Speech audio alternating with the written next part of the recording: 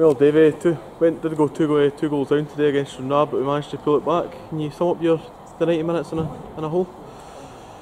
Yeah, I thought it was the least we deserved. I think for over the piece, I thought we, we outplayed them football wise. They obviously got two goals and a half that probably went against the run of play.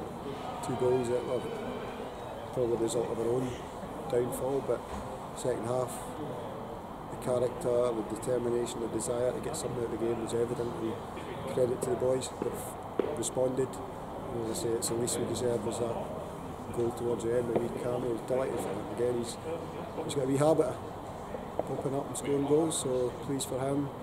Pleased for all the boys, because to be fair, we had a bit of a few home truths at half time and they've responded. And, uh, uh, probably pleased with a point considering where we were 2 0 down and man down and a couple of incidents in the Stranraer box uh, early on in the first half. Uh, what was your thoughts on the, the two penalty decisions?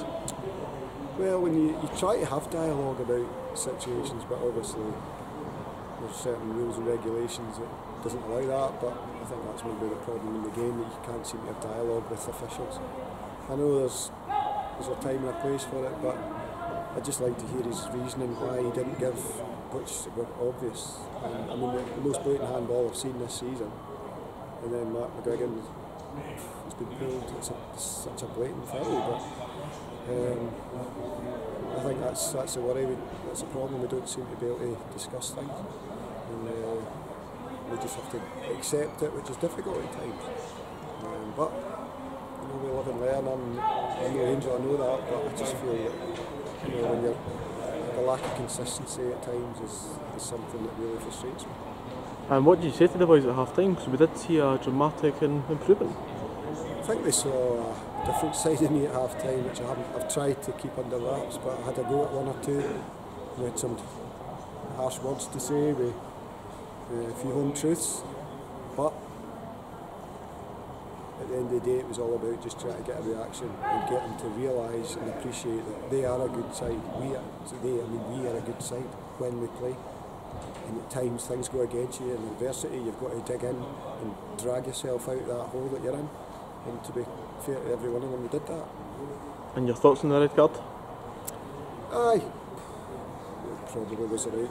I think Callum probably knows he's gone in with two feet and certainly didn't go over the ball. I don't think he went. Certainly didn't go in malicious, wasn't he? Didn't go in try to hurt anyone, but he's he's going to be too kind of jumped in a wee bit, and it's obviously given the referee a decision or a choice to make, and that I'd say that to the players. If you give the officials a, a decision to make, then you're, you're taking that chance. But but aye, listen, the, the boys dug in, and as I say, they've got the just rewards and off to Elgin next week, who who they are the only team in Scotland that's actually managing to get fans in. Do you think this will this will change the atmosphere? Brilliant for Elgin, delighted for the fact that they can do that. Um, just a shame that the rest of the country can't do can't uh, follow suit, but.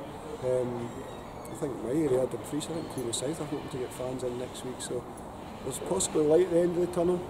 Um, I know it's been difficult for everybody in the whole country, um, worldwide obviously, but um, certainly it may look like there's a bit of light at the end of the tunnel, so hopefully it might be, shouldn't be too long that we'll, we'll get the fans back at Ochilview. Davie, thank you. Cheers. Thanks a lot.